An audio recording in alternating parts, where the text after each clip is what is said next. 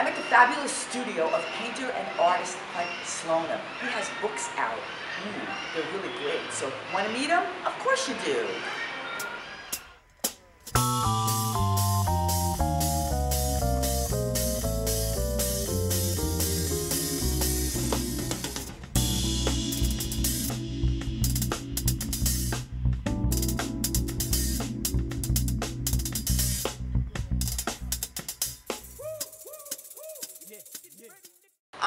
With Hunt Slonem. I actually interrupted him, interrupted him from his painting. He was actually sitting there, and I'm like, I gotta interview you. Get over here. So we're in this amazing palace. I don't know what you'd call it, but every place that you've ever been in, you create a world of your own. Would that be correct to say? Yes, So why is that? You know, you have your Hunt Slonem world. because I'm an anti-minimalist. You know, and I can't stand empty space, and I'm an insatiable collector of mid-19th century furniture with a few.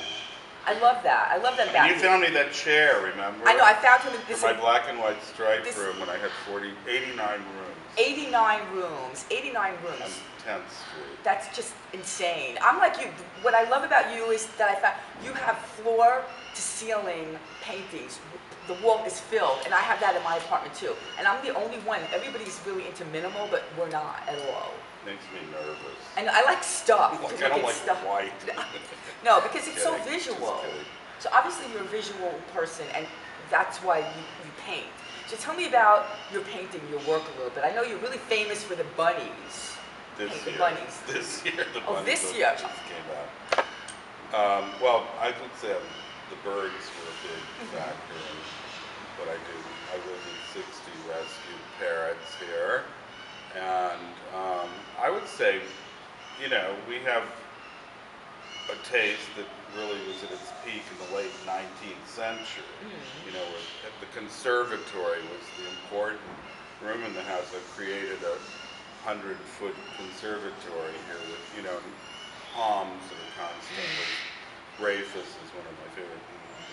With the um, wonderful advent of uh, farm-raised orchids, are now able to have blooming things surrounding us 24/7. for nothing. And I'm fortunate enough to make them rebloom. But um, you know, more is more. I like headless marble statues. But you love nature. I mean, yeah, everything. nature is my. I was going to say everything because you paint obviously animals, birds, bunnies, flowers. You know, how do you decide? Butterflies. How do you decide what you're going to paint that season? Well, it's not a seasonal thing with me. I just paint all the time. But And- first it was the birds, and then it's the bunnies. No, I mean there was much more before that. All of that came out of my earlier saint paintings. But Tell me about the birds because I hear them squawking in the back. They want attention. Of course they do. How many do you have? I don't know. I think 50 or 60. 50, and they're all rescues. Mm, 80 percent. And why are they rescued? Are they mean? Or are they like? Why do people give them up? Well, people have a child and the kid and the bird, you know, don't get along. Usually people keep a bird for about 10 years. Because they live a really long time. They can live to, I have one that's 75. I've had for 40 something years. Wow. Um, I just had one that was 65, a little Amazon that died recently. He had a inoperable tumor, but um, he made it to 65. That's and great. That, that's better than average. I hope I make it to 65. I don't know. I'm still working. Still working on Me it. too. You know, it it's ain't. getting closer. It's, it, really. So what's next for you? So you're doing the fabrics. You have a new book out, the Bunny Book. I do with Glitterati Press, and then I have a book coming out in the fall with Assouline Press on um, called Art Meets Design, which is about my homes. You know, I do. I've rescued three national landmark homes without help, That's and I great. furnished them. And um, And you're period. keeping them the way, Yeah, well, I punched up in color. right? But I mean, this, the bones of it. You know, Oh, I that. never, cha- I never altered a room. I just rebuilt. I mean, I just built the original kitchen back to Lakeside Plantation, and I um, do nothing but restore to the original. Do you work out in your houses too? Do you work?